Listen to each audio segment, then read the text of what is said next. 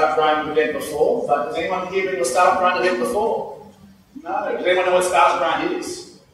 So Startup Grind is actually the biggest network of startup events on the planet. It's in 200 cities uh, worldwide. It's in all the cities you'd expect. It was actually founded by a guy called Derek Anderson in San Francisco uh, about five years ago. But uh, now it's in you know, all the cities you'd expect, Sao Paulo, Brazil, Brazil, uh, Tel Aviv, Israel. It's also some really unusual places like um, uh, Kabul in Afghanistan, Tehran, uh, in, in Iran. So it's a, an amazing event. Uh, and they've done thousands of events around the world these days. Um, when I first got aligned with uh, Startup Grind, one of the things that really took me was the values that Startup Grind has. It's basically about when you approach the startup ecosystem, you don't come in trying to sell people something. You come in saying, how can I help? And this was something that kind of really resonated with me. Uh, you make friends, not contacts, I think it's another thing. Um, weirdly, uh, I was in Melbourne a few, uh, few months ago and I was chatting to some startups, and this guy comes up to me and he goes, hey, Yelly, he goes, I figured you out. I was like, really? You figured me out, have you? He goes, yeah, yeah, mate, I figured you out. You just hang out with the people you want to hang out with.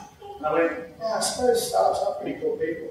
I started to think about it some more. Why did I like hanging out with startups?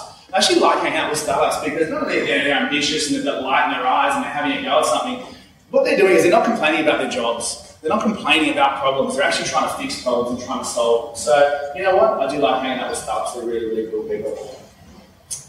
Um, if you don't know me, my name is Brendan Yell. Um, I wear a few different hats. Uh, my day job is I run the entrepreneur program for IBM, um, based out of near enough Sydney. I live up near Newcastle, um, but I run that for Asia Pacific. Uh, many, many years ago, uh, I founded a company called ShopFree.com. Uh, I'm currently a mentor at, at Slingshot and uh, a number of accelerators around the country, uh, including Vocus Upstart here. Um, you can hit me up on Twitter at Brendan Yell. There is a hashtag called Where's um, which is just a bit of my uh, bit of joke between my friends about how much I travel. Uh, last year I did 68 flights. Uh, I haven't counted this year's yet, but it's been pretty hectic. Um, and hit me up my email address if I can help in any way, please let me know. Uh, I want to thank some of our partners that are here today. Uh, Niche Interview, uh, Jurgen's up there filming. Hey, mate. Uh, thanks so much. If you haven't checked out nicheinterview.com, it's a website that features uh, one-on-one interviews with a range of startup founders. So if you want to educate yourself more, find out, do experience more things like what we're talking about tonight, just on video, uh, then check out the website. So, mate, thanks so much for helping me out and filming tonight. Uh, as I mentioned, my day job runs, I run the IBM Global Entrepreneur Program. Basically, if you're a startup less than three years old or less than three million in revenue, you qualify for the program. And that gives you anything from $12,000 a year in cloud credits up to $120,000 a year in cloud credits. Um, not, a, not, a, lot of people know the Bluemix brand. Uh, it, it, sort of came through an acquisition. It used to be called SoftLayer, um, but it powers some of the world's biggest apps. So people like uh, WhatsApp, still even after the Facebook acquisition, are 100 percent on the Bluemix infrastructure. Uh, Fitbit, Mailchimp, SendGrid, these guys all our infrastructure. So uh, if that's of interest to you, if you're starting with some free servers, uh, when I launched ShopFree.com back in 1999, uh, I wish there was free startups, a free service for startups because uh, it's just one expense you don't have to worry about. But of course, I really want to thank our host tonight, um, Flux by SpaceCube, uh, and I'd like to introduce Brody McCulloch just to give a a welcome uh, here for Flux. Um, so, who's been to SpaceCube before? Just quick show of hands. so most of you, good stuff. Um, so, SpaceCube was set up four and a half years ago to support entrepreneurs, innovators, and change makers in Western Australia. And really looking at how do we support a critical mass of people looking at big ideas to tackle social, environmental, and economic challenges. Um, it's growing pretty quickly. I think West Tech Fest is a good example of how the ecosystem in West Australia's changed. Who's gone to more than two events this week? So, yeah, there's actually, I think in SpaceCube and Flux, we've got 28 events across both spaces.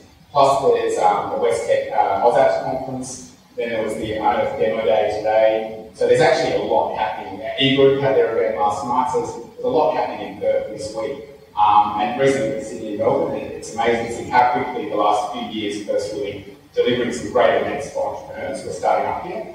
Um, but really, no, we built Flux because as people were growing their businesses, they needed next sort of space to move into. And that's really worked out well. So we've got three floors here, whole range of different spaces to work from, meeting rooms, got our um, core resources hub on the ground floor, which is entrepreneurs working in mining, uh, mining and oil and gas, working alongside large companies in those industries. Um, we've started talking with other organisations around, you know, Navitas has moved into level one here with their education technology fund, um, talking about health, so we just had this morning HDF uh, activating their final session. So really looking at how to support entrepreneurs to tackle some of those big challenges and connect with large companies and perfect and access their members, access their network. Um, I think where we're heading from here, there's huge shifts coming. Um, already seeing a lot of people coming through the doors with really deep industry expertise, not just in mining and oil and gas, or they're moving back to Perth. And um, events like this, and events like West Fest, and um, hackathons, uh, all these things and accelerators all work together to really a really thriving entrepreneur ecosystem in West Australia. I can't really see that slowing down. Think we've seen some great stuff, and, and events like this, is great to have Perth, uh, part of that, uh, that ecosystem. So thanks everyone for coming. I enjoy, uh, you can still check out the West Tech Fest website, there's still a bunch of events happening throughout this week. Um, probably a good one to shout out Perth Got Girls on, on Saturday, which is uh, women learning to code, is a good one, but I think they've got 140 odd people coming, and that's it. Um, there's, so there's some really good events to get involved in. So uh, night and looking forward to this. Thanks for having me bringing us um, Enjoy. Thanks. Well, thanks, Brady. I've, known Brady for a couple of years now, um, uh, both himself and his team. I want to thank Laney up there for all your work, uh, Matt, uh, and also Tom. You guys have been just fantastic deal with um, for, the, the time of uh, being involved with the uh, the co-work space here. Um, it's funny, Brody mentioned community, startup community. I think it's a funny thing. A lot of people talk about throw this name, startup community. What does it really mean, and why is it important? Um, it's called startup grind because it's not startup easy or startup sabbatical or startup summer job. It's called startup grind because it's hard. It's really, really hard. Having an idea is fun. Changing plans is fun. But building a business is really, really hard. And when you're a startup, you actually have to wear a lot of hats. You have to do a lot of different things. One day you're running a press release, next day you're trying to do like Google ads, next day you talk to a data analyst, you're trying to do all these things. You're not really an expert in any of them. You're just trying to build that business. So often you come up against problems that you haven't experienced before. And that's where you can reach out to the startup community. Now, if you're experiencing a problem with a payment gateway, it's quite possible someone else has experienced that problem before. And you can reach out to them, they can help you solve that really quickly because they had that problem a couple of months ago. And so you might be solving that in hours or minutes as opposed to days and weeks. So that's where the startup community is really important. Uh, and I think if you just come in with the attitude of giving, then uh, you know, good things will happen. that's a cool photo too, man. Not even Photoshop. It's awesome. Now, one of the things we like to do here at Startup Grind is to actually just highlight some people that are in the room, just so you know, like, who's in this room? Who are the people that are here? So the first person I want to highlight is Emma Weston, who's sitting on the back there. Hey, Emma. How you doing? Now, Emma's the CEO and founder of Full Profile. And just to prove that I was actually listening to you last night as opposed to talking about myself, which I can do, Full Profile uses blockchain to make uh, um, supply chain management more transparent and efficient for agriculture. Pretty good? Okay, cool. So welcome, Emma. Great to have you here. Uh, Rob Nathan, if you don't know Rob Nathan, you probably haven't been around the Start startup ecosystem here in Perth. Uh, Rob obviously has run the Vocus Upstart program for the last couple of batches uh, and is uh, just really, really open and giving with his time. So, Rob, mate, always a pleasure to see you. Thanks for coming along. Uh, Anna Powell, where's Anna? Oh, hi Anna, how you doing? so I met Anna before she went into the uh, Upstart program uh, and caught up with her yesterday. Uh, Yabble is a platform for uh, activities for your kids. Uh, I constantly have that problem. I've got three kids and I've got two iPads. So, you know, I think I've got one, one iPad short, my wife thinks I've got two too many. But, you know, trying to find really good educational, positive activities for them to do, and that's what Yabble does. Um, you've launched here in the Perth area, uh, area and now looking to conquer the world, I believe. So, uh, welcome, great to have you here. Thank you. Now, if you want to get social tonight, uh, you can tweet, you can Instagram. If anyone's under 20 here and is still Snapchatting, uh, not me, I deleted it, uh, then you can do that. The hashtag is at startup grind ANZ, the hashtag, oh, sorry, the at tag, hashtag startup grind. We can also ask some questions uh, of Andre as well. It's really simple. You just go to slido.com, you can do it on your phone, and just enter the hashtag VinoMofo. Uh, you can ask Andre a question, it will come up in a minute on the screen. You can vote questions up or down. Uh, they're not moderated, so uh, please nice language, even though yeah, Andre might drop a few tonight. So, um, normally when I interview people, I don't like to do too much research on the person I'm interviewing. I like to go on a bit of a journey with the audience so that I'm discovering what they're discovering. If I find something interesting, I can kind of delve into it. This is one that's going to be a little bit tricky for me. Uh, I met Andre when I was, I think, 13 years of age. Uh, we've been best friends ever since. Uh, he was best man at my wedding, and I was best man at his. So there's not much we don't know about each other. But we sat down at lunch the other day and he was like, well, he's like, man, how are we going to do this? You know, like, I know the answers to most of the questions. You know, he's like, well, why don't you just ask me questions you, you either haven't asked me or been too afraid to ask? So I was like, okay. He's like, yeah, challenge me, come on, let's bring it on. I was like, okay, let's give it a go. So what I'd like everyone to do is everyone just stand up, please. What I'd like to do is the CEO and co-founder of Vino Mofo. Please give it up for Andre Eikmeier.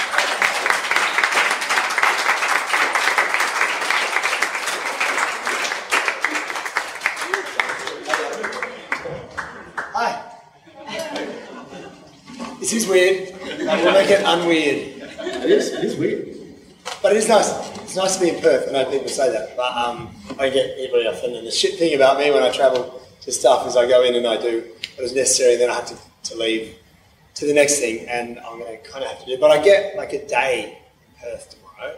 There's, there's stuff I have to do, but that's a luxury for me. So, mate, yes. I'm going to quite get to Margaret River, but um, we'll make it a day. Cool. Now, look, recently I was lucky enough to travel to Web Summit, and I was in a stadium, and there was 40,000 people in this stadium, and they weren't there to see Justin Timberlake or Lady Gaga. They were there to see, they were there to see nerds. They were there to see startup founders. Now, I've known you for a long time, and I know you have this cool exterior, but what was it like being a nerd back in 1988? You think I have a cool exterior? Thanks. 1998. Yeah, 88. 19, yeah. Um, yeah, look, it was shit actually. So I was a, I was a, I was a nerd at school, and I was, um, you know, it started. I remember being in primary school, and I was sort of, you know, in a pretty cool group, kids, and didn't think much about that stuff. When I got to year seven in high school, and I remember just thinking, I don't really. I was a bit younger. Um, we both were actually, know, a year. I remember thinking, I, I don't understand this stuff that people are starting to talk about. People are talking about sex and AIDS, and and, and I, I was like, I was confused, and I was didn't work. And then I just noticed that these people that were supposed to be my friends had just turned into wankers, like and mean. They were mean. So I was like, I, I don't, I don't like that. So I, um, you know, started hanging out with a couple of guys that, um, you know, were nerds, and we we learned how to play Dungeons and Dragons together. And we hung in the library and got bashed up by the people that you know didn't like that I left the cool group. Um, so yeah, that, that was shit actually, because there were no nerd role models. I remember, remember the remember when the film Revenge of the Nerds came out. I don't know if you guys know this film. It was like so fucking bad. But I remember watching this at night, and this would have been about year nine or year eight or nine. Just going, oh wow, maybe, maybe like we'll be validated. Um, I shouldn't say we. Yelly wasn't so much of a nerd. But maybe we'll maybe we'll be validated. And then I got to school the next day, and fucking bullies were like, "Ah, you fucking nerd!" And I was like, "Oh, thanks. That's great. Yeah, great film." So there were no. Whereas now, my son, bless him, he's 11. He's a massive nerd. But you know, he's had the path has been forged. You know, nerds rule the world and gloriously, and you know, not just in wealth but in influence. And so, you know, he's not picked on and bullied being a nerd. He he's chosen to be because he aspired to be. Yeah, it was shit because you know, But you're over it now, right? Mostly, mostly. We can enact some re- revenge. Yeah. we can do that. Um, now, through your twenties, you did have a few few failed businesses. Um, what did you learn from that experience? And you know, do you feel like you took a lot of those failed businesses with you along the way? You know, I really like this question because it's so such an important and hip thing in the startup community to talk about how it's just great to fail. And you got, we've got to be really comfortable with that. We've got to celebrate failure so that you know we don't make people shame, so that people have a go. So I understand the reasoning, and it's true and it's good, but it fucking sucks because let's be honest. I think you know if you haven't if you haven't put your heart into a business attempt, um, you know, you generally have. So when it fails, it's gutting. And, you know, I'm, pretty, you know, we, when you do like a strengths assessment, you know, one of my strengths is self assurance, which, you know, people say, oh, you fucking think you know everything. But, you know, taking that out aside, it's, I genu- generally have confidence in myself to do something and back myself to achieve something. And I think it's an ingredient that entrepreneurs, you know, largely have to a greater degree than a lot of the population, if you like. But still, you know, you question your ability and your worth. And I didn't, I had um, five failed businesses. Not all of them were like a, an attempt at a glorious startup with, with employees and, and stuff, but they were businesses. You know, they were me attempting to be, you know, whether it was a sole um, operator or, or something. Um, they were five failed businesses and three failed careers. And, you know, I was smart, and I was one of the smartest guys, it's fair to say, school.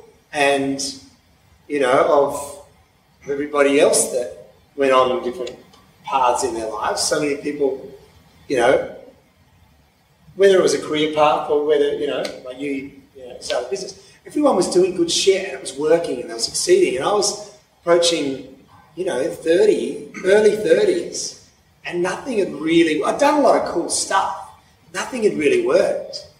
And um, so it was, it was difficult. And I, I actually started to believe that I was cursed. Because like, what, it sounds stupid, but I was like, what fucking reason can there be that I'm such a smart guy and I have drive and I'm resilient and I'm creative and I can't fucking make a business work? But I, I, Do you remember me ringing you up and saying you're frustrating me? You Your supervisor out there Yeah. said because you're one of the smartest guys I know, and you can't seem to get it together. You can't seem to you know, make that thing happen for yourself. And you can tell yourself that, like for quite a few years, like call it 10. At some stage, without something fucking working, you do question yourself. You know, and I, but the reason none of, and it took me a while to figure it out, I was, and, and it's a positive strength because it's helped the business that has fucking worked, but I was an idealist. So every business, I just went at it from the idea and I went at it what I wanted it to be, and I didn't respect the simplest of business mechanics, which is you have to earn more money than you spend, or, or, or raise a shitload. But, um, just that simple, um, I didn't respect revenue models. I didn't respect business models, essentially. I had cool ideas, and so that's why pattern of failure. Even as simple as fucking, I had a band. It was my band, so it was a business technically. I had seven guys with my employees, and you know, I was getting booked for gigs, and I was like, these guys are shit hot musicians. They deserve to get paid 200 bucks a gig. I know we're only getting like $900 for this gig, and I need to pay for sound, and there's seven of us, but it'll work out. And of course, it doesn't fucking work out. You spend two years and you juggle, you know, debts and, and, and paper terms before you end up having to give the band to your booking agent so he pays the debts. And that was my, that was what I was doing. And it sounds dumb, like, oh, wow, yeah, you're really smart, Andre, you know, but I think um, even now, which is quite funny to be honest, um, in Vino Mofo, and you know, I'm sure we'll go back to other stuff, but I enjoy and I take on the role of the idealist. And I I want to be more involved, even though I, you know, studied accounting and I actually am, apart from our CFO, smart, you know, I understand accounting and finances and spreadsheets, and I, I'm the guy that creates our projections and formulate for, for doing stuff. I, I like to live in product and user experience and the vision of the company. And, you know, I, I like I like to keep in, and now I can afford to, I like to stay in the realms of idealism. And I, I say to our team, like, I think this is the you know, you- I don't know if you'll ask me, so I might say it, but, you know, everyone goes, oh, what keeps you up at night? Are you going to ask that? No. Oh, good. I'll say it now. What keeps you up at night? Yeah, yeah, yeah. Good question, Yuli. It's Jet lag? no, no, no. It's um, it's that we won't stay idealistic enough, and we will get functional and boring and lose the magic, and everybody will be inspired by something else and not us, and that's how we fail. I swear to fucking God, that's how we fail. So it's my job to go. No, no, this is not fluff. You know, and I'm even starting to not, because we have a lot of employees. I'm starting to not. Um, not look at targets and measures and metrics and kind of trust that they will be the outcome. Just getting great product, getting the brand dead tight and consistent. It's kind of weird shit for me, but I'm getting more idealistic now that business is functioning, and that very thing that made me fail so many times. Now, before there was Vino Mofo, there was an online wine community called Quaff. Uh, and you decided to go into business with uh, a co-founder, uh, which I tried, which, uh, which lasted, I think, about a minute and a half. I think is how long my uh, co-founder lasted with me. So I understand they're really tricky things to do. But then you did it with your wife's brother. Um, what were you thinking? I was drunk. no, I was. It's true. We didn't like each other. You know, like Justin. We, we love each other now, but he didn't like me at all. He didn't think I was a worthy, you know, husband to his sister. You were doing terrible things to your sister. No, I, I wasn't. But um, you know, I serial failures in business, you know. Um, but no, so we, we didn't get along at all. We clashed, and we were sort of a couple of alpha males, and just on no level. And we were significantly different enough, but yet same same enough that it just was shit. Um, but it was well, it was just because. So I was um, I was a I was like a video producer and website, of, you know, shitty little brochure website producer for the wine industry. That was my job. Well, that was my business. That was my job. It was sort of functioning, and I wanted to do something different. So I had this dream of creating. Um, I was interested in like this is 2006, so um, consumer generated content was sort of a buzzword. It was, you know, it was just we just moving into Web 2.0, and so it was about what people would contribute to the internet. You know, consumers would contribute to the internet through content or through reviews. They were having a voice, and I really liked that. So I came up with this idea for a customer review and recommendation website for wines where people could um, recommend wines and review wines themselves. And Justin, um, who'd, uh, he'd, he'd, sort of, you know, had a big relationship breakup and, and uh, similarly a business failure with his own dad, um, my father-in-law, and he'd just run away to South America for six months um, this sort of journey of just a reset and this sort of journey of self-discovery, I think was how he described the Columbia Efficiency. When he, he came back, while he was over there, he discovered Facebook. And it was, you know, pretty new then in 2006 in Australia. And, um, and you know, people, like two backpackers were using Facebook to share photos with their families. I'm sure you understand how Facebook works. But so it was Christmas Eve in 2006, and I'd started working on this idea. I called it Red Cellar. I started designing it, and, and we were both there, and we were drinking, and we were telling each other about our ideas. I was idea for a wine community site where people share reviews and stuff. And he's like, oh, I had this idea for like a social site for wine. And we're like, oh, it's kind of the same thing. So I remember having this moment. We were both like, well, that's cool. I'm sure they'll both be work. Both. There's plenty of room in the market for both of us. Good luck. ah, that's stupid. We should go into business together. I think we both at the, at the time just built this. I think we both had a brief opportunity to go, no, that's actually a dumb idea. But we were drinking. And so we were like, no, it'd be cool. And so we went out to my garage and started, you know, jumped on Melbourne IT, it was called, and started searching for domain names. That's why we did it. But it was shit for years. I mean, it's like, it was really hard until things, it took us about seven years to actually wake up one day and go, oh, I couldn't have done this without you. And that's when we got past all the baggage and the bullshit and, um, actually started valuing each other. And it's actually only much more recently that I think we've got past that and actually really love each other. Cool. Now you had a you had a Christmas, didn't you? Where I think Joe, you said to you, like, really, how long are you going to keep doing this for? And that must have been a pretty pretty tough Christmas, yeah. Yeah. So we've been. This business was called Quaff, which was a stupid name, but um, it had been going for about three years, and we'd started it with no money, and we'd made no money doing it because our revenue model had died very quickly. Um, we thought wineries would just pay us to be part of this cool, you know, community wine site. And wineries were like, what do you mean people can review our wines in public? What if they say something bad?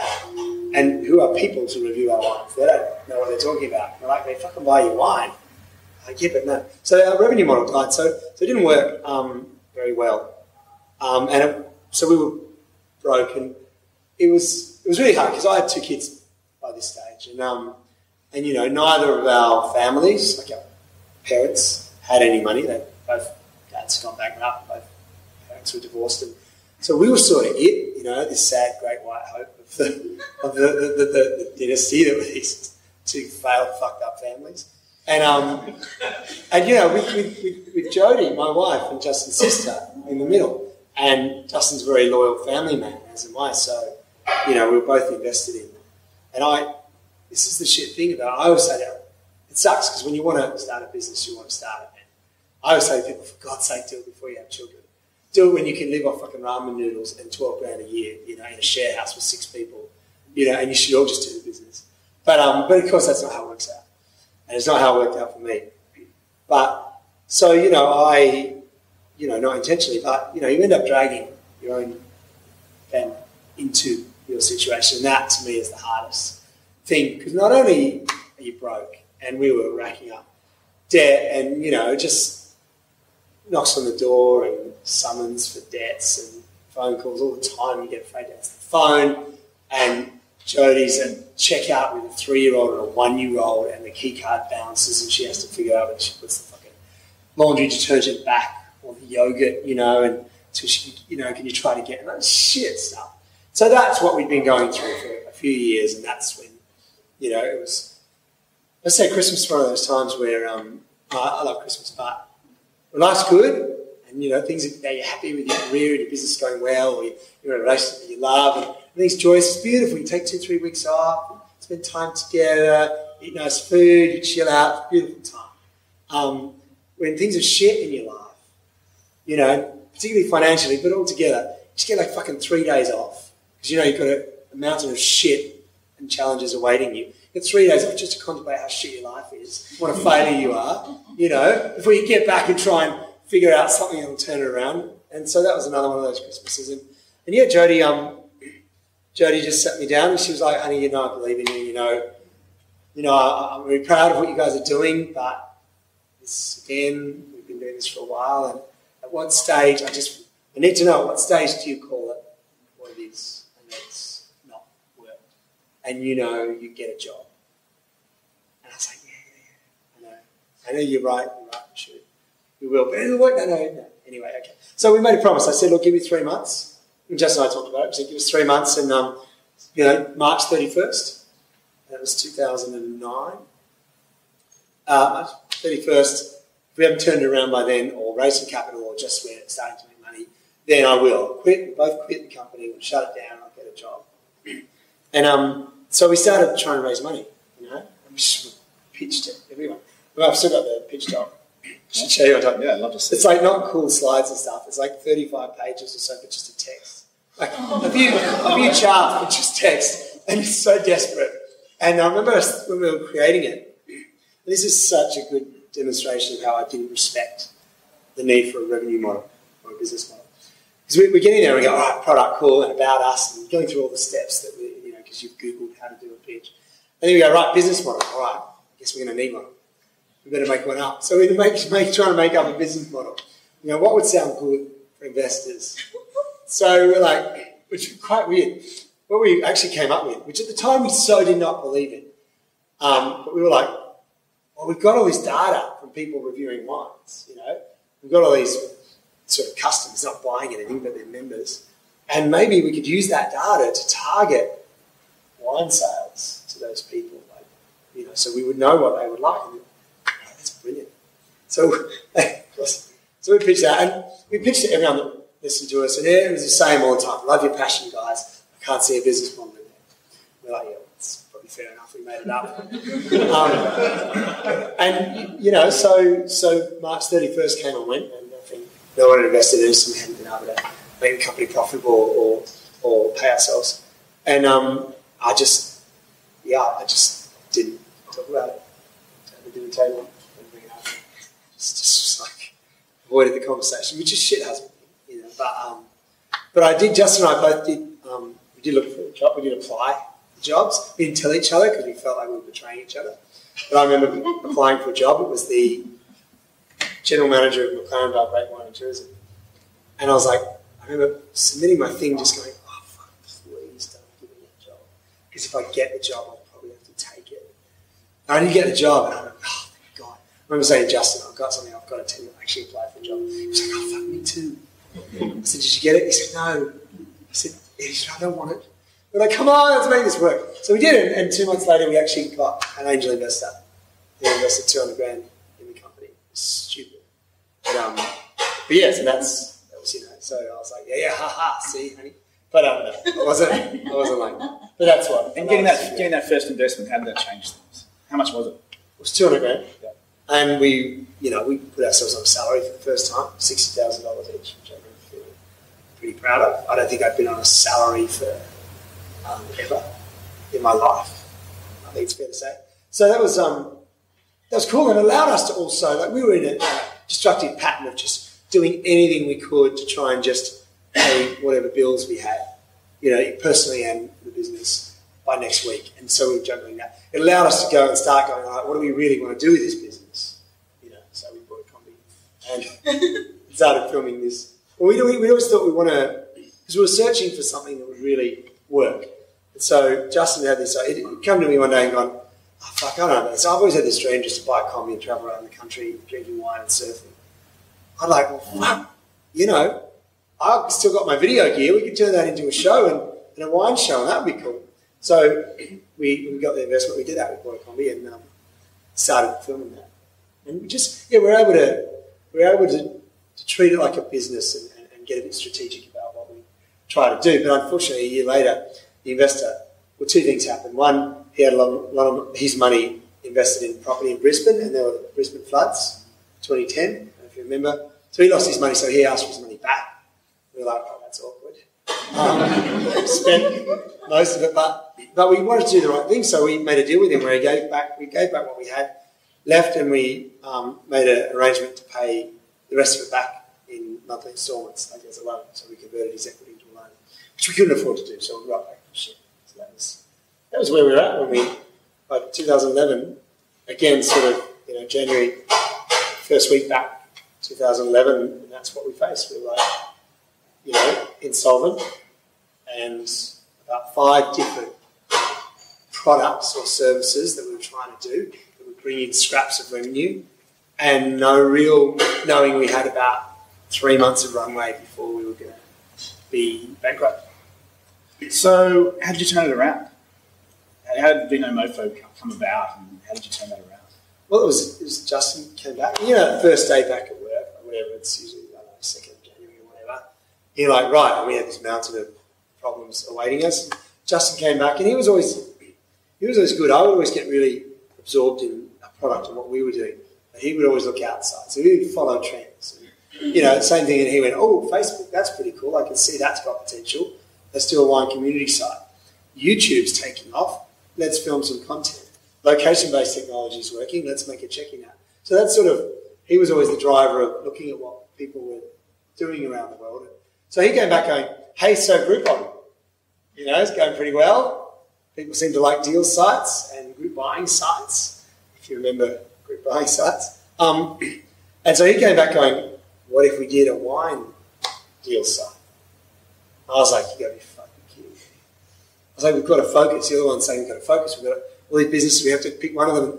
And you know, not this business, but we've got all these products. We've got to get behind one of them and focus and, and make it work. And, and yeah, but none of them going to work, Andre. We've been trying, and they're just not going to work.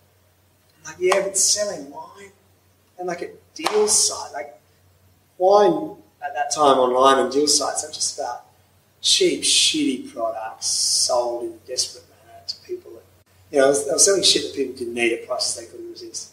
I was like, that would just destroy my soul, Justin. And I know we don't have, you know, revenue coming in, but we've got about 5,000 people who are our audience and they trust us to give them wine recommendations. If we start selling them shit, we'll destroy that. And that's what we spent five years and that's all we've got in this five years. So he was like, yeah, but what if we didn't sell shit wine?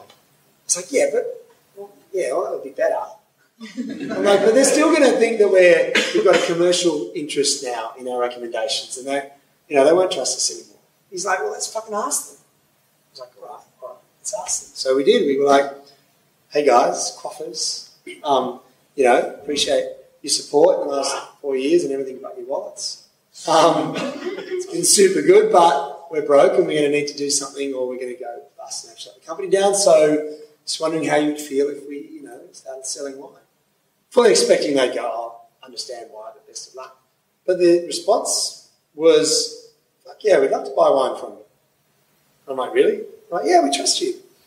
Oh, that was a real wake up. As long as you don't sell shit you don't believe in. As long as you sell the kind of stuff that you've been recommending to us over the last few years. I was like, oh, yeah, yeah, of course. I'm like, yeah, yeah, we'd buy from you. So that gave, that we were like, all right, well, let's fucking. So then we had to try the challenge of building a retail site, which I, I didn't believe in retail. I didn't like retail. Um, I mean, I believe it. I understand how it works, and I understand it. It's how we buy shit. But I didn't want to be a retailer. But I had the challenge then to go, all right, well, let's. I was like, all right, if we're going to do this, it has to be. We have to change the language up. We have to. We have to keep. Because the one thing we had done with Quaff, so I hadn't succeeded as a business to date, but we did stand for something, and that's why we had an audience. And it was we'd gone in going, I believe this is really important. We'd gone in going, you know what? Wine's so conservative, and there's it's grumpy old men in bow ties, and it's fucking, you know, points out of a hundred, and award shows, and everybody's terrified. You walk into a wine store, you get a restaurant wine list, and you go, oh god, I don't know what to order. I'll just get the second cheapest, you know. And and, and I think and we, we we understood that that's how a lot of people felt. And we understood that there was a whole, whole generation, like nobody under the age of 40 was really being spoken to by these cranky old bow tie wearing conservative men. And the wine industry itself prided itself on this elitism and, you know, the bullshit language that they used that nobody understood. So we were like, we had changed that. And we'd gone, you know what, just t shirts, sneakers, occasional bad language, just fucking wine. It's awesome, it's cool, we love it. And that's the only thing that we had resonated. So I was like, we've got to carry that into being a Mojo, which is what it was at the time. And if we do that, so I started trying to create this.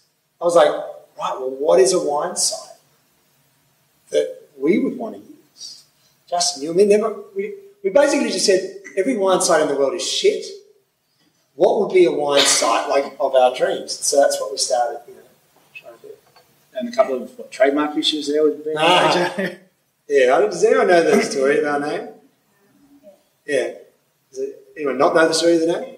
Oh, that's enough. Right. so be boring for the rest of you. But um, so we um, this is how much I didn't believe in the business idea. Yellow's boy, he's. So much did I not really believe this would work that um, remember. So I was like, Oh, no, who would ask such a question? Sorry. I'll get to that. Yeah. He's suggesting it should be regifted. No, so, anyway, so I was like, um, we, I'd be like, well, we're so busy, we, we need someone else to come and do some buying. So we brought in another co-founder for Benema. We were like, we'll start as a new company so that if it fails, it doesn't hurt the rest of it. And then we had to come up with a name. And um, we're trying to come up with a name for the business. And Lee Morgan um, is the other guy we brought on as a, third co-founder. And Justin, we're, we're trying to come up with names and couldn't come up with one. And Justin's like, oh, you registered that really cool name about a year ago, Justin, uh, Andre, um, Vino Mojo. And I was like, yeah, that's a really cool name. Because I, I came up with this name one day and I registered it and parked it and I was like, I'll save this for a really fucking cool business and they're like, well, let's just call it that. I'm going, no, you're not having that. Like, I'm not having that for a fucking wine deal site. And um, anyway, they talked me into it. So, all right, Vino Mojo. So that's what we did. We started building Vino Mojo and we had a landing page saying, hey, something's coming and had pre-registrations going on a Facebook page and a Twitter account and sort of building a bit of buzz and it was getting a bit exciting. And then um, we launched on April 12th, 2011, which was a Monday. On the Friday afternoon, we got a cease and desist letter from a trademark attorney um, representing a public company who had a wine called Mojo. So like, shit wine. But um, I'm not, I'm not bitter. But, um, but yeah, it was a cease and desist letter and, and so we rang a trademark attorney and we were like, well, you know, we had money either. We were pretty, like, I said we had about three months of runway was like April. Yeah, three months of runway for Christmas, and it was April. So we were like, we by this stage it was sort of like this or nothing. So even I'd invested in this has to work. Anyway, um, so I'd rung a trademark attorney, a cheap one, and he'd been like, um, look, I think you could probably argue the case, and you'd probably have a shot at winning. There won't be confusion in the marketplace, but because they've been trading already, they've got a they're pretty much guaranteed of winning the cease and desist if you contest it. So you know, they, they can just stop you from launching. So probably, how about you just don't launch and then you fight the case for like, we need to fucking launch like, like on Monday. So I rang the CEO of the company and I was like, oh, come on, surely we can talk about this. And he, in no uncertain terms, like informed me that they had a much bigger, you know, checkbook than we did, and um, didn't really give a fuck whether we were in the right or not. He would just tie this up in court, and good luck with us not launching our business for nine months. So I went back to the guys going, okay, we have to change our name. And I was Googling, and I came up with this theory that, because we had no money as well, came up with this theory that um, if we just change like one letter, that no one would notice. Like, and I was Googling like, um, you know, um, oral and visual, you know, the way we receive information as human beings. I thought this is solid. So that was the plan. We just changed one letter and we just won't mention it. So then it was Friday night by this stage, and we again drinking, I'm getting a bit desperate. I mean, we're trying to come up with a name. So it's a Vino Mojo, Vino Mogo, Vino Moto, Vino Goto, Vino Go. It's just this small planning process. But and just got more and more desperate, and just out of frustration, it was actually Justin. He just went as a joke. Oh, it's called Vino Mofo for the motherfuckers who are stopping us from launching. And um, we're like, yeah, it's funny. Come on, we need a name. And then as the time went on, we couldn't think of anything better, we're like, oh, it'd be funny though, wouldn't it? Just as a joke. Yeah, it'd be funny. And I'm the older one with the kids, so I'm like, cannot call a company wine motherfucker. All right? I'm not going to do it. It's stupid, it's juvenile, it's lowbrow, and no one will join. But it would be funny.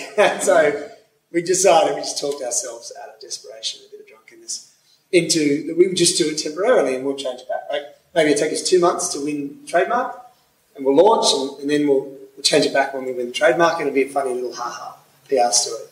So that was how you Vino Mofo became. It was never like, let's create a wine site called Wine Motherfucker. It'd be really edgy and it'd be really appeal to the kids. It was never that. I wanted to just create a really cool, clean, you know, apple kind of, you know, toned um, wine site. I remember when you rang me, and I then hung up the phone from you, and then rang a friend of mine who was, let's say, ten years younger than me, just to confirm, mate, um, uh, the street term mofo, uh, what does it mean? He goes, well, what, what do you think it means? Oh, just checking. Yeah. Just, want, just want to know. Yeah, okay, right, okay. I don't know what's going on over there in Adelaide, but there's some funny shit. Well, it's, I don't think it's a brilliant idea, but it did. It did work and it did resonate, and the business from day one started working. And somehow that brand kind of sucked up all that language that you're using as well. Like it, uh, It did, and I think what it did, again, it ties into this idea of what you stand for. Am I allowed to it?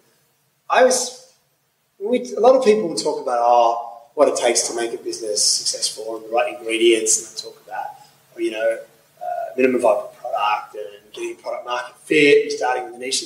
These are all solid things, but I think what not enough people talk about. There's a couple of foundations that I think brands that made an impact on me in my life. And I always use the example of Apple, and I'll just do it now. You guys, like, I got an iPhone. You know, it doesn't make any special anymore. But who's got an iPhone? Right? Who's got a Samsung? Right. So you got a Samsung. My instant reaction is you loser. Why would you get a Samsung? Your reaction is probably you're the fucking loser. It's a better phone and it's cheaper, you dickhead. And I'm like, yeah, you're right. And you know, my head of development says it's a better phone, and and you know, so I understand. So if it's a better phone and it's cheaper, why why am I not buying a fucking Samsung, right? Um, and it's because in 1981 or whatever it was, you know, out they come with it. And they they just locked into this emotional message to me, which was the rebels, the misfits, the ones that are going to change the world. You know, and I'm buying this shit. I'm going, that's me. I'm not a PC guy. I'm a rebel and a misfit. I'm going to change the world. And I bought into that, and that's what they stood for. And they, it wasn't just an ad, they were consistent. Steve Jobs was that.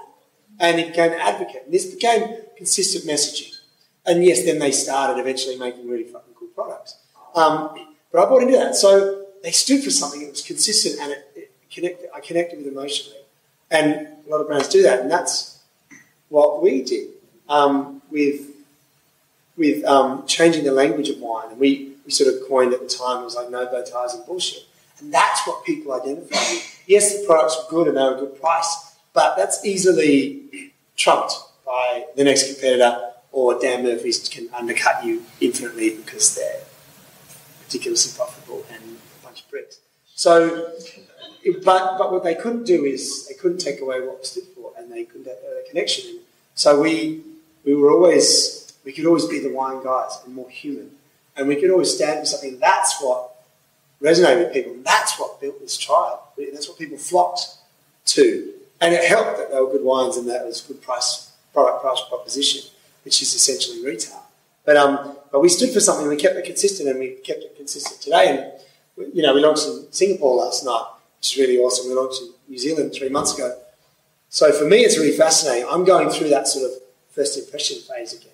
You know, in in our sixth year in Australia, so everything's developed a bit, and we're starting to not a household name yet, but we're starting to you know have a bit of traction. But when you're launching a new market, you're starting from scratch. You go back to what it is. You, you focus so much on what you want people to feel and experience for the first time, because that's all they're all first times. So we're right back into what we stand for, and it's kind of cool to go through that. But the, name, sorry, that's long-winded. The name, what it became is you call yourself wine motherfucker, right? And everybody, whether they're 70 or fucking 17, knows that mofo means motherfucker. And if they don't know at the time, then their grandchild was explaining to them. So everybody pretty much knows. And what it did for us is we had a few people. So I always say you've got to stand for something, right? Because it's a fundamental human desire and it's in us to want to be a part of something. We don't necessarily have to be a part of something that is mass. You know, we might gravitate to a very niche thing, but it's immensely validating to feel like a connection with a group of people or a person or whatever. So you want to feel a part of something, whatever that something is. And I always think if you want to be that something that people feel a part of, you have to stand for something. You can't go, but I want two billion customers, so I've got to stand for everything. Because then you won't stand for anything. I'm really feeling that. So what we had done, not strategically, but inadvertently, is we go, we are wine motherfucker. And so if somebody was going, wow, that's really juvenile and quite offensive, then no worries, we're not for you. If someone goes, oh, that's a bit interesting, I want to see what's, you walk in your door, you know, metaphorically speaking, they're kind of already like engaged and interested, and they're kind of like, all right, you kind of got me. You have me, motherfucker. Um, what do you got? And so it created a strength of engagement from day one with everybody because they'd already, it was like a big sign. It was like, you know, it's like you got a shop and there's a sign on the door that says, We are not for everybody. This is what we stand for. It's no worries if this is not you. Please don't come in. In fact, we don't want you and you don't want us. Um, so go down the road to Dan Murphy's. That'll be much better. You'll be much happier. But if this is you, come in. And I think um, that's kind of kind of cool, and that's what we achieved, and I think that really helped.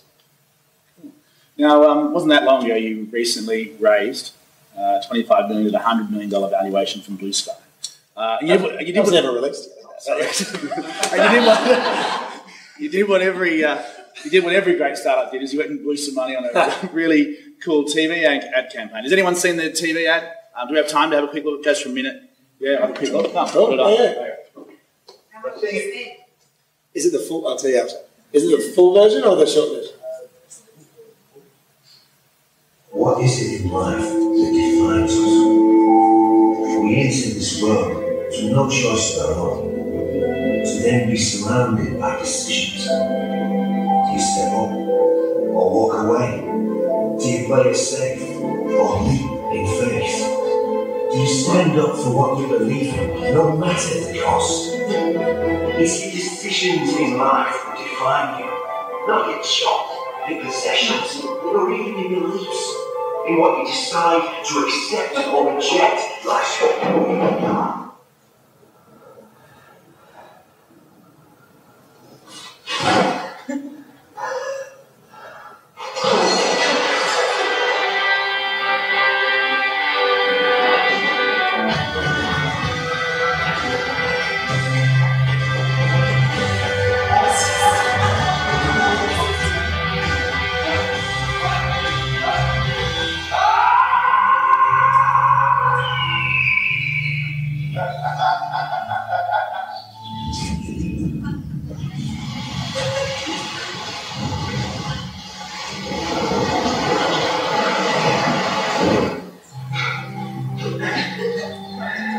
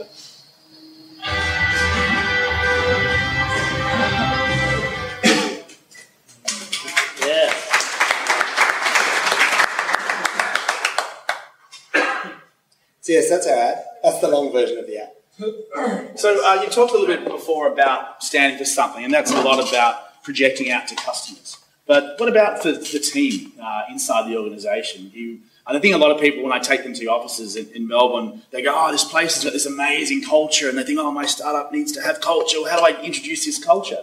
I mean, I assume it wasn't something you had day one. How did you figure out what that internal culture was? Because it's pretty strong now, but it wasn't always that way, right?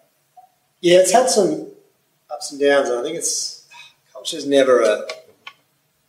I, I, I don't know whether I'd say it's strong now because it feels like we've got a million fucking problems. We've got 130 people on the team now, and um, it's a lot of people, a lot of lives, and it seems like this thing that you always have to be just paying so much attention to and giving so much to it, um, and, solving problems with, with culture. But it started from when we. So it was Justin and I in a garage like for so long, and then our first employee, Ollie, was a developer, and um, we were like, and he just had a baby, so we were like, right, okay, we've got an employee, like we need to, we need to figure out what our culture is going to be, and, and I think we just naturally came at it with this sort of like, it wasn't like, oh, you're lucky that we're paying you. We're like, oh my god, we're so lucky that someone wants to work for us. So it was always that sort of, right, we have a responsibility to, to make this awesome and really inspiring for him and find out what he needs and what he wants in his life and have some balance. And so that's how we approached it. So we were, we were looking at our first sort of um, uh, sort of guidebook for culture came from um, the Gallup Institute in the US, who were like a, an HR consultancy, quite a big firm, and they had this. Um, they released a book that was called "First Break All the Rules." Which, you know, we we liked the title, so we read it. It was it was really cool. It was basically they interviewed one and a half million employees and 150,000 managers. And they figured that there were 12 sort of um, elements that made for an engaged employee and therefore a productive, you know, happening company. And they were, they were all person's needs and they were pretty, pretty basic, like I know what is expected of me at work and I have the tools and resources that I need to do my job. And, and then it taps into like, you know, reward and recognition. And so that became our guidebook and we built it on it from there. We and but what we did, we, we focus so much on it was all about for everybody in all the, the team, um, but without sort of having that sort of accountability. Like I, I like it to parenting. You know, you, can, you want to be empowering and you want to be encouraging. God knows we all fucking do that now with our kids. You know, oh, it's great. You're so good at this, no matter what. Here's a trophy. Um, but but we did that. So we just ended up with a bunch of entitled, spoiled little fuckers, thinking, yeah, I deserve all of this and I don't have to work for it. So we're like, ah, we missed the ingredient of accountability and boundaries and like, and so now I think the philosophy is we will take the trouble to learn about you. We want you to be an awesome human. And it's a great thing about the world we live in now and where we're headed in, in business. You know, we, corporate structures and the approach to HR up until a few years ago was all a legacy of the Industrial Revolution when company would hire 2,000 people to stamp a fucking widget. And they weren't skilled labour. They needed a supervisor, one for every 10. That supervisor needed a manager. You know, and so it was a fierce hierarchy because nobody was being asked to be proactive and solve problems and be creative. In fact, it was discouraged. Whereas now, we're looking for people that are fucking, we're asking you to, hey, solve problems, be creative, be ingenious. Um, give everything you've got, and, and, you don't just have a nice simple job description. You really do lots, like find value and add that. And you know, we're in an age where people get should get, and it's exciting. They're hired and valued as much for who they are, and asked to bring that as for what they can do. And it's cool, because, and, and, and so it's a great, really human era um, of, of culture, and it's happening more and more and more because you don't get talent unless you, you know, you, have got a, red hot engineer or digital marketer or one of these, you know, or HR person is really fiercely in demand, you know, undersupplied career paths. They can, I don't think they're coming going, oh, cool, I'm just looking for a job that has a caterer and a ping pong table and a good salary. I think they're going, I want to make my mark on the world and I'm looking for a company that has the vision and the value set and the drivers, the purpose, the mission that inspires me and makes me want to give this chapter of my life to. And I will join you, I will make my mark on the world together with you because I believe in what you do. And I think that's that's what culture is about. And they're like, here's what I need. And there's universal stuff. I need to feel safe. I need to trust you. I need to feel inspired. I need to believe in you. As much that you're good people and you want to do good things as you're successful. I want to be a part of something successful. But I want to know that you care about me. I want to, as a person, I want to know that you value. I want to feel that I can be really honest about me. And I think people, I liken it to like a horseshoe. You can't go, like, and you can only draw a line somewhere. So one side is potential and all the awesomeness that that person give. The other side is all the shit and all the fucking problems that they have because they're human.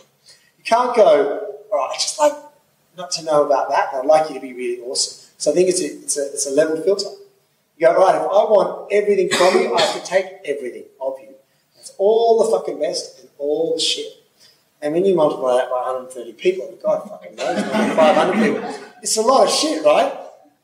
There's just if you if you you know do the maths and you believe the data, then there's 30, 40 people at any one time struggling with anxiety and depression. There's someone's fucking pet has died, someone's getting divorced, someone's going through some fucking crisis or other.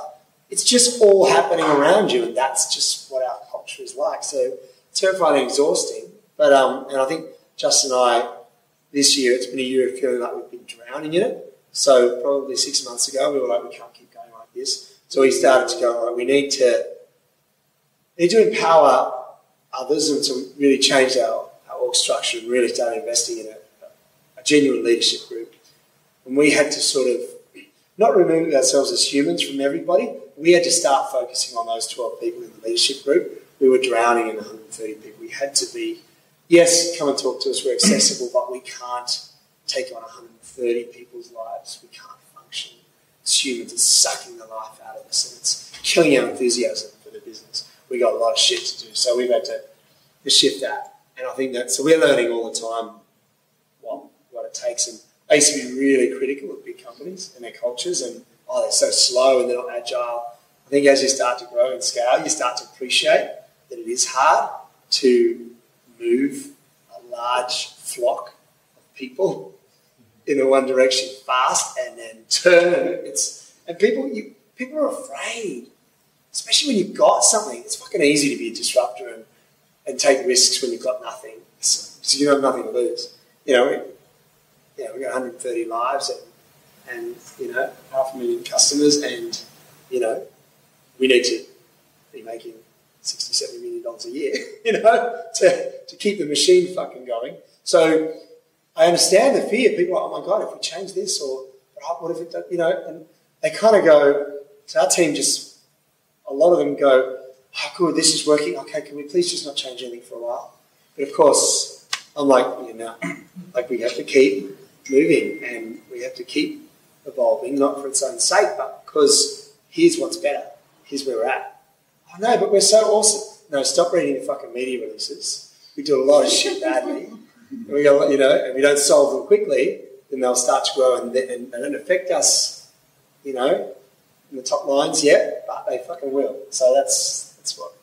Yeah, one of the things I noticed when you guys started sort of being successful and having a, a little bit of luxury to do some of the things you wanted to do was that you seem to be really uh, keen on giving back to the community, whether it be Oz Harvest or Pet Rescue or you know, the Mofo bombs where you, you, know, you delivered goods to uh, wine out to people to say thank you for doing a good job in the community. What was the was that a marketing tactic? What was what was what was behind that? No, I'll tell you what. So it was. I think a lot of people think that business, especially now, like when we started Vinomofo, there was no startup ecosystem. We didn't know what the VC was. You know, there were no VCs like in Australia. So we're just in a garage trying to build a company. Now everybody knows, ah, oh, so you can get a bit of, you know, um, seed capital and angel investment, and you know, you want some early traction, and then, then you try and raise a Series A. And I think there's this sort of tendency for a lot of companies, particularly if they've got an attractive product that gets some early traction, they do, they get um, sucked into this capital raising world, And it's easy to think that that's the business. Oh, this is what we do. We'll raise some money, we'll get here, and then we'll sell the company, and I'll get 10 million bucks, and I'll be rich, and then I'll start another company, or I'll become a VC or an investor or whatever. Um, that's sort of what tends to happen too much, I think. Whereas I, that's not what a business is. A business is you've got a really fucking cool problem that you're going to solve, and you just want to do that. And so Justin and I, I think, probably also thought that we would, you know, always we would sell a company at some stage, and you know, because I've been broke most of my life, so you know, the idea of having ten million bucks was pretty nice, and my wife agreed. Um, but we went on this. We were we were actually we went over the states, and we were sort of meeting with a few VCs over there, and we were also just sort of sussing out the market, and and there was a lot of interest in investing in the company. We're like, oh, that's pretty cool. But then we had this one lunch with this guy. who was introduced to us. He wasn't. I mean, he was a VC, but he wasn't interested in investing in us. He was a small early stage investor. But um, he was this like industry legend, like this Palo Alto, this Silicon Valley legend. He'd been like an early employee in Cisco, and um, and then like one of Steve Jobs' first employees. So he was like this guru, and um, and he'd just been introduced to us, and, and we had lunch with him and his wife. You know, he was about sixty-five in this shitty Italian restaurant in Palo Alto. It's really daggy, but it was an institution. Anyway, we had, had this great fucking lunch. He's telling us all these stories of like the seventies and the eighties and stuff, and we're like, we're basically startup fanboys, Justin and I, as you are. You know, you know, we, we went and drove past supposedly Steve Jobs' garage where, you know, where they, um, I think it was Wozniak's garage actually. Yeah, um, where they supposedly, which is not apparently true, but you know, supposedly developed the first Apple product. We stood outside like losers taking photos. There's even a fucking sign on the lawn that said, "Please don't get out." You know, someone lives here. But that's that's what we kind of like. So we were like, "This is great, crazy stories." And at the end of this lunch, he sort of said, "Look, like, can you forgive an old man for a bit of advice?" Oh, of course, of course. He's like, "I just want to." I think you guys are good guys, and I think you know it seems like you've got a, you love your business, and I think it's going to work. And sounds exciting. You know, maybe you'll take it around the world and, and do stuff with it. He said that you know, I don't think you'd have any trouble selling the company, raising you know, raising money for it or selling the company. But I just want to put something to you as someone that's you know that sold the company that he started when he was younger and loved it. And then, you know, yes, I've got investments in 20 companies. He said, I don't think you guys will ever be as fulfilled or have as much fun um, with anything else you do as you will with, with Mofo. And I just want to plant it in your head that what if you didn't say? We're like, whatever. Just go get. What if? And we go, what, like, you, you mean like build a company for like generations to come? He said, look, that's not my business to tell you what to do, but great to meet you. So we went up and we went back on this, like, whatever, 21 hour flight back. We started having this conversation together. Would you consider, like, if Vinomofo was like it, like for the rest of your life? And, you know, by this stage, it, it was successful, so I'd gotten over this great Andre, you're going to fail at everything you do. So I was like, well, you know, and, and I think we, we, we sat up for a while and we, we came back to each other and we both had the same feeling. We're like, you know what, look, if it was just going to be a wine company, then no, that wouldn't interest me. But if we can build this great global thing that not only is successful as a wine company, but can be two things. Can one, you know, because I was like, look, I'd rather, if I'm going to devote my life to something, I'd rather like it be renewable energy or something fucking, you know, planet saving. Um, but I was like, but if we could use it to both help fund and you know message around people that are dedicating their lives to that, but also if we could build it and it can be like this um, this benchmark for this totally human way of business. There's no bullshit business term anymore. There's no managers. It's just like if it can be this real example of how human and right a business could be, that it does the right thing. You know, it was again, it was idealistic and it was quite um, preachy, but I was like, if we can do that, and Justin was as well, then yes, we could do this forever. So that changed the way we thought. So then we're like, all right, well, let's start fucking talking about it. We'd done little things and we'd support and donate and stuff, but we're like, no, let's really, let's really do some shit and let's use this as a platform that is as much not just gathering this tribe of people that love wine, but is also gathering this tribe of people that share a belief in the way the world should be, share a belief in the way they would like to live their lives. And, you know, so that's what we do. And that's, again, that's fiercely standing for something at the expense of, so, you know, and it freaks the team out. You know, you saw the ad and there's a Tiananmen Square scene in there. Well, we've got, our team is like, we can't have that. People will think, what right do we have? We're just selling wine. So what do you mean we're just selling wine? Have you not fucking been listening to everything I've been saying for the last three years? No, we're not just selling wine. It's like, that is the, that is the, that is the fucking lightest week. I said, because at the time, I remember, because still the, the plebiscite for marriage equality was still on. I'm like, we're fucking weighing into that. We're not going to sit on the fucking fence. They say, no, this is bullshit, you know? And, um, and if that loses its customers, well, so be it. And I even said to the team, if, if some of you guys aren't comfortable with this, then I'm sorry, but this is what we're going to do. And we're going to weigh into live export, we're going to weigh, weigh, weigh into refugees, we're going to learn up, we're not going to sell the in issues because we're going to be a company that uses our reach and our voice to, to back that and supports people that are, we think, doing great things to make the world better. So that's become as important a driver, you know, and I'm not interested in just having a relationship with a customer where we, they just buy wine from us. I know that happens, but I'm interested in, you know, and God knows we message a lot of stuff about our beliefs and about, you know, people that are doing good stuff.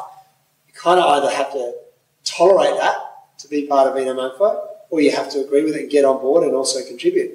That's what I think companies have to do. I think it's this age of transparency. Again, it goes back to the thing if you want to believe in, you've got to buy something from someone or give them your time or invest in a platform, like whatever, it's Facebook or whatever.